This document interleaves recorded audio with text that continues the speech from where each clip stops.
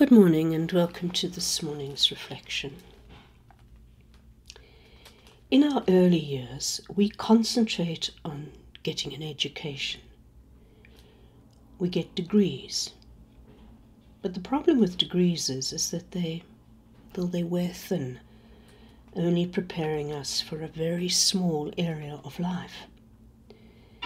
The danger in later years is the myth that older people cannot learn now.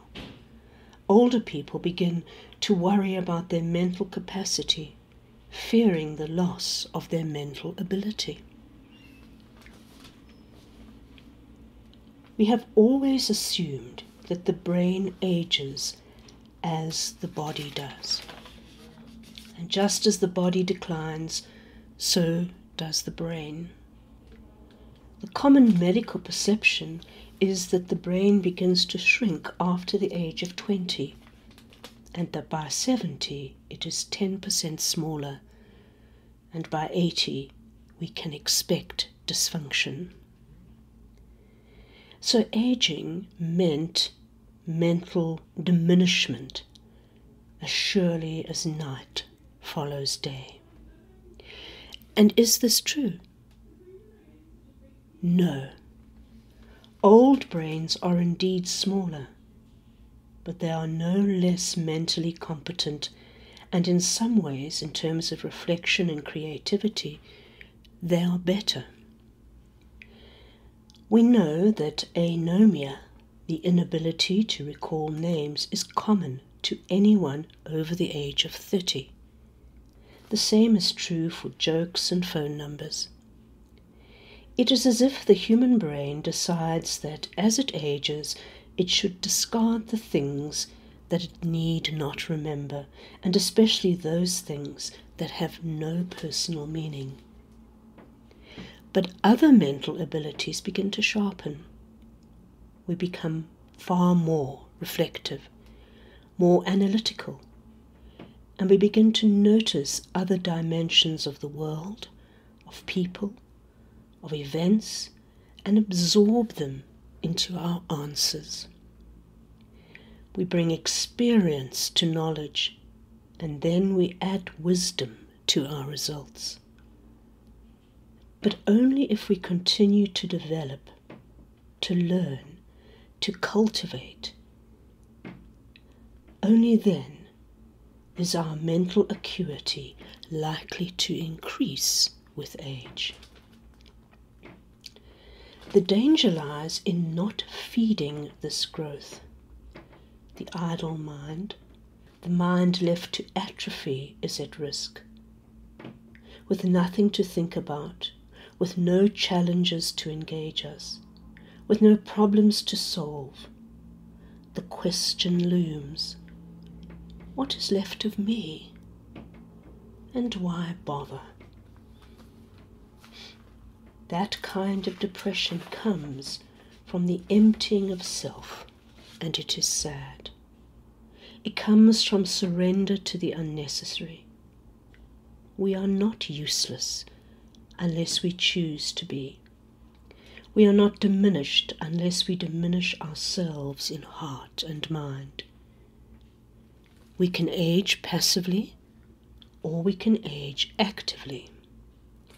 Passive aging gives way to the creeping paralysis of the soul. This aging sees getting older as being part of the final throe of a slow death, rather than living differently and dauntlessly. Active aging cooperates with physical effects of aging, adjusting to the change of pace. Active aging requires us to go on living life to the full, no matter how differently. One of the clearest signs of healthy aging is drawn from the Harvard University longitudinal study of developing of development in adults. And that one factor is lifelong learning. Lifelong learning determines our physical and mental health to a large degree. The problem with age is not age, it is the rigidity of soul that accompanies age and inflexibility. When we close our minds to the new, we close our minds to our well being.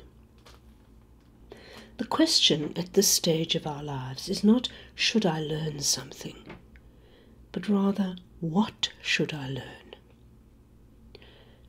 Perhaps a new language or a new skill,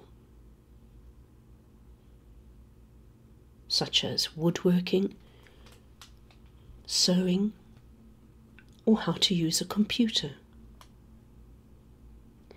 So, the burden of these years is the fear that they bring nothing but increasing incompetence and irrelevance.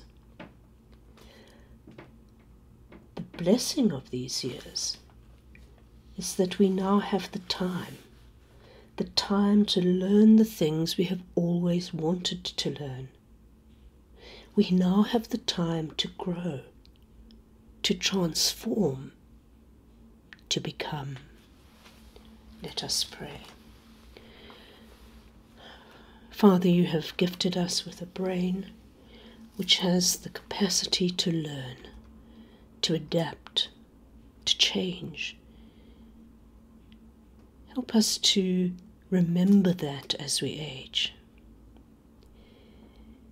Help us to rise to the challenge of learning anew of being open to new ways of doing things. And remind us that if we do not learn, if we do not expand ourselves mentally, then we are in fact giving up on this one very precious gift the ability to learn to come to know more, to change, to transform. Let us hold on to life and all that it offers right up until the end, never consigning ourselves to a place of incompetence and irrelevance. We pray this in Jesus' name. Amen.